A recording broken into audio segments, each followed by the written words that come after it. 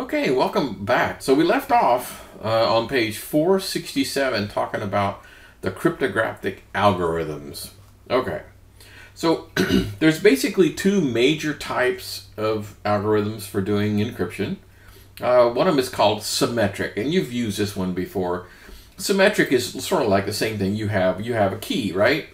And so when you go to, to lock a door, you stick the key in and lock the door. And then when it comes time to unlock it, you use the very same key to unlock it, right? So one key does two functions. It either locks the door or unlocks the door.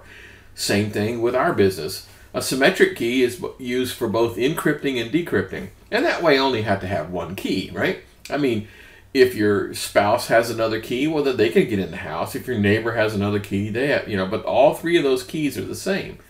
Basically the same key. Okay. So I talk about some of the key terms associated with this, and so let's just go through them. Uh, the first one is the Advanced Encryption Standard, AES. Uh, the NIST, the uh, re current recommendation by the U.S. government is to use this current one, the, the AES. Now, to tell you the truth, it's a little weird because the NIST standard basically says we want you to use this particular encryption, but they don't really specify the encryption length because that varies. You could have, you know, a 256 or a 512 or a 1024. So it tells you basically here's the formula I want you to use, but not necessarily the strength. Okay, now like the Army is going to specify a strength. Cool. The key, the private key, the secret key. Of course, that those are the private key, and the secret key.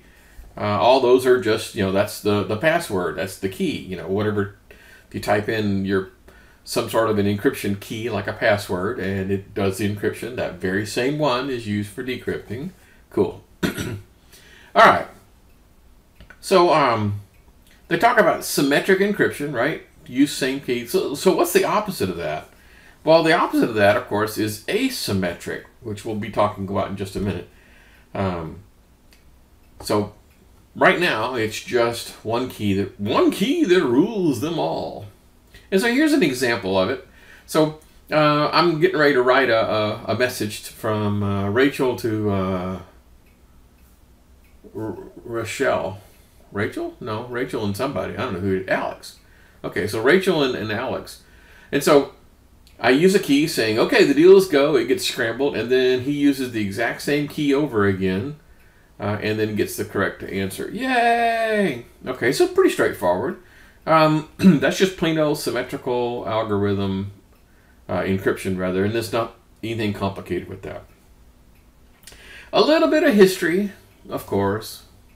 Um, back in the old days, uh, there was a thing called the Data Encryption Standard, DES, and from 1976, the the military decided, and you know that was the one they were going to use because it was super duper.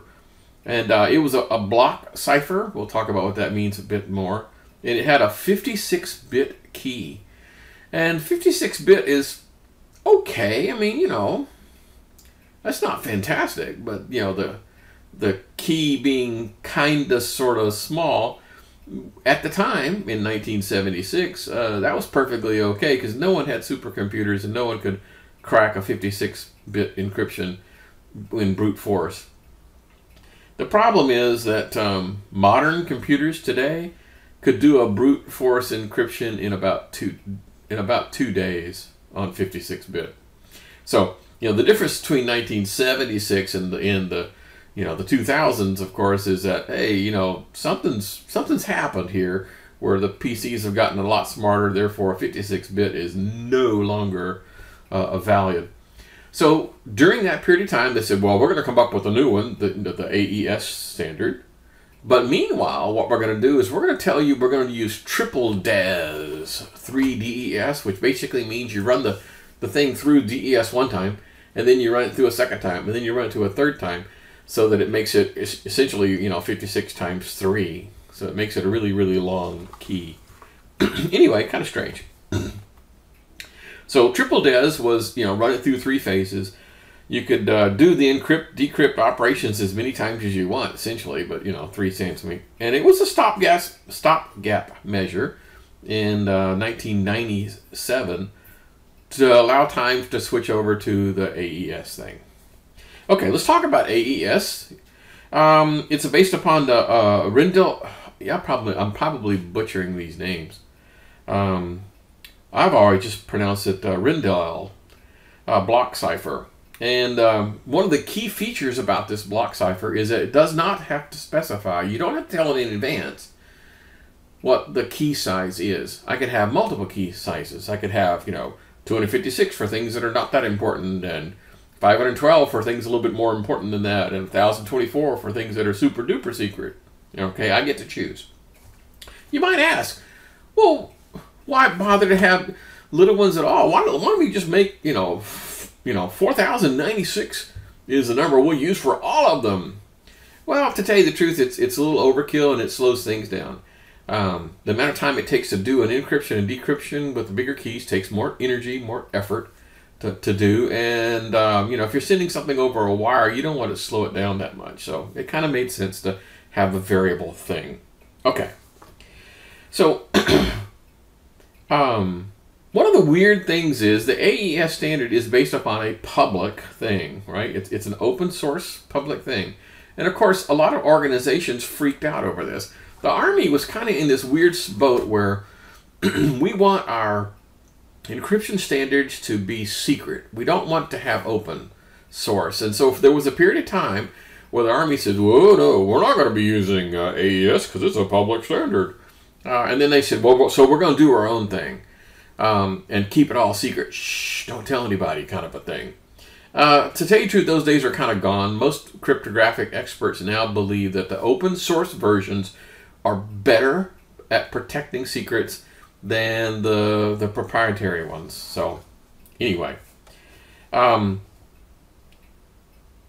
you know, it, the whole thing. There's two parts to this. First of all, the uh, the requirement to make the algorithm public is one thing that kind of freaked out a lot of agencies, and then the other one is this persistent thing that perhaps there's a, a back door into my encryption. Now, a lot of this is just pure hype you know, if, if you listen in on like congressional testimony about, you know, we need to have backdoors into this encryption stuff, you can tell they have not a clue what the heck they're talking about, okay? And so it's all hype, it's all, you know, hyperbole, and it's just a bunch of crap, to tell you the truth. And because all the experts are saying, uh, no, that's not really practical, you really can't do that. But what the heck? Okay, so moving on, so that was the one key to rule them all. Now it's time for the asymmetric. Now asymmetric is used an awful lot. And basically it means it has two keys. So uh, just imagine in your head, I still have one lock on my door and I use a blue key to lock the door. But when it comes time for me to unlock it, I use a red key. I still stick it in the same lock and turn it. It's just that I have a blue key and a red key. That's it, okay? two different keys. And you might think, well, what's the point? Well, hang on a second, and we'll get there. All right. So basically, it takes two to tango. Uh, I have to I have to be able to encrypt with one and decrypt with another. Cool.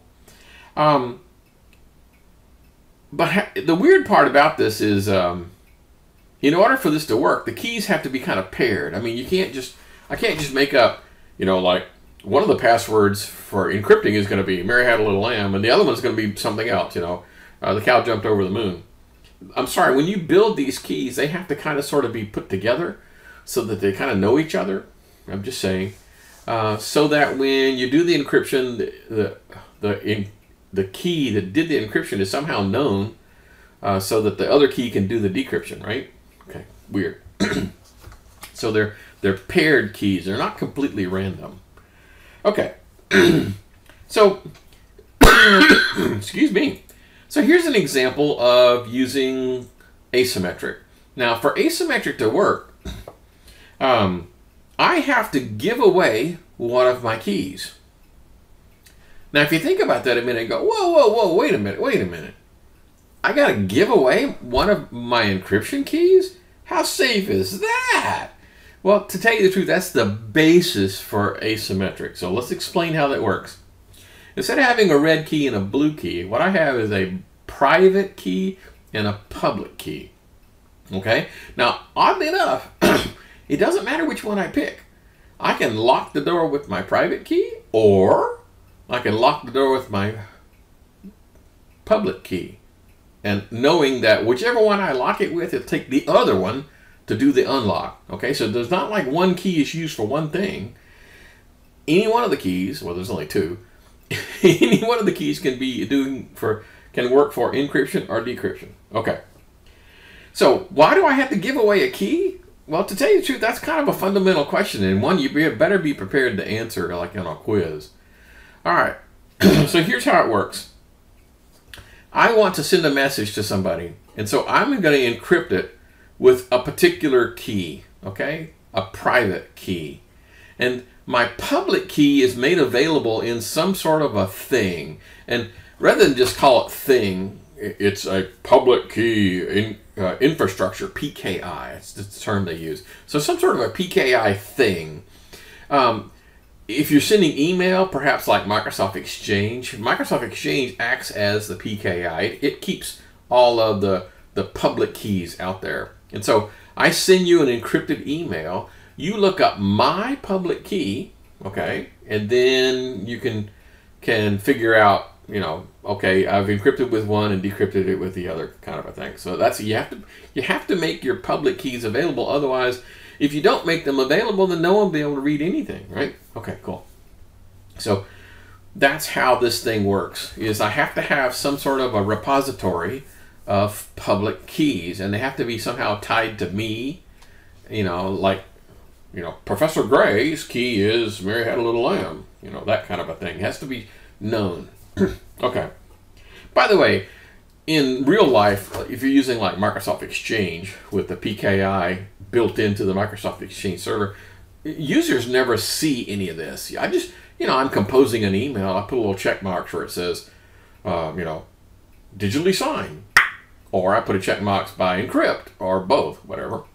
And then it automatically goes and you know does its thing. I mean, you don't ever actually see the key anywhere, and the guy at the other end doesn't actually see the key anywhere. It's all just done behind the scenes. But there is this need to have a public key thing. Okay, so if I'm doing, uh, if I have to distribute my public keys, I have to make them available, right? So Microsoft Exchange, that's a, a, classic example. There's some others. So let me ask you a question. Which is faster to, to encrypt? Do you figure that a, um, a symmetrical or asymmetrical would be the fastest? What do you think? I mean, I'm still just using one key to make it happen, right? So it, what I'm asking essentially is, is the encryption on asymmetric more complex than uh, uh, the encryption on symmetric? And the answer would be yes. Yes, it is. So if you're if you're after speed, the the public key thing slows you down several ways. It slows you down for encryption. It also slows you down for decryption because you have to stop what you're doing and go get a key, which takes time, right? And what happens if you know the network was down during that period of time and blah blah blah blah blah. You can kind of sort of imagine that, right? Okay. So that's a, a pretty decent kind of a scenario about um, which one is faster, right? Okay, cool. So let's let's talk about an email scenario. So this is going to be complicated and it's going to bend your brain. And so please, you know, I, mean, I want you to stop, pause the video as long as you want, go through it as many times as you want. This is one of those fundamental things you're just going to have to wrap your head around. I apologize in advance but yeah, a lot of people have trouble with this, and you know, this is not my first rodeo. When I've had this class before, a lot of people just when they got to this test question and went, "Oh hell, I don't know, I'll just pick one," you know, without actually actually learning this stuff. Please learn this. Okay, I've kind of delayed talking about it enough for it to be at the at the 15 minute mark. So we definitely are going to be back in just a few.